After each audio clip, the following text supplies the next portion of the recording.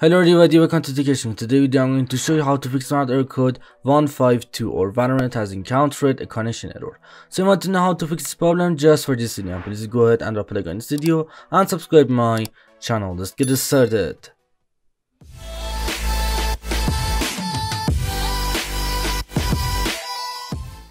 Okay guys, for the, the, first method to fix error code, first of all just go down on your desktop and type services on here. And then just can click on services. And now just scoot down and look to find VGC on here. Just uh, look to find VGC. Alright, and then just go and right click on VGC. Just right click on it and now just go down and click on properties. And then just go and set VGC SR type to automatic. And just go and change SR type to automatic and then click on uh, apply. Just go down and click on apply and then okay. And now just go and close up services. Just close up services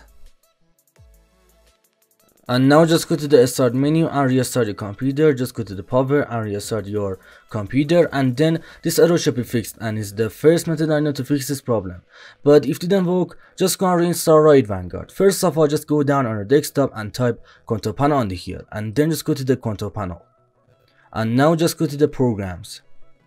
Alright and then just go to the uninstall program and now just uh, scoot down and look to find riot vanguard in here. And then just go on right clicking on riot vanguard and click on uninstall. And just go on uninstall riot vanguard from a computer. And then just go and click on yes on your computer. Just click on yes. And now just go and close up uh, program and features. Just close up program and features. And then just go on uh, right click on valorant.